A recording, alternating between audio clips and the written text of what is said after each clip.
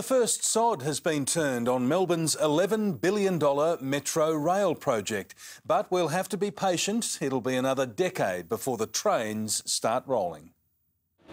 It's the state's biggest ever public transport project and construction is finally underway. It's a project that creates jobs. It's a project that's going to give us the capacity to run more trains across the metropolitan and the regional network. Workers have begun checking and relocating underground services such as gas and electricity. It's ahead of the major excavation to build the two nine kilometre tunnels and five new stations beginning next year. With an $11 billion price tag, Malcolm Turnbull is being urged to keep to his funding promises. We're sitting at around 9% of all federal infrastructure funds is what comes to Victoria, well below our population share. If they want extra money from the federal government, needs to include South Yarra Station in the Metro project.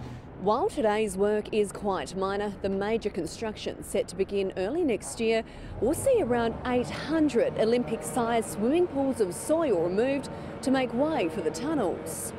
When the tunnels become operational in 2026, it's expected to take around 18,000 cars off the road during peak hour each day. It's further evidence as to why we just don't have a moment to lose. Tegan Dolling, 7 News.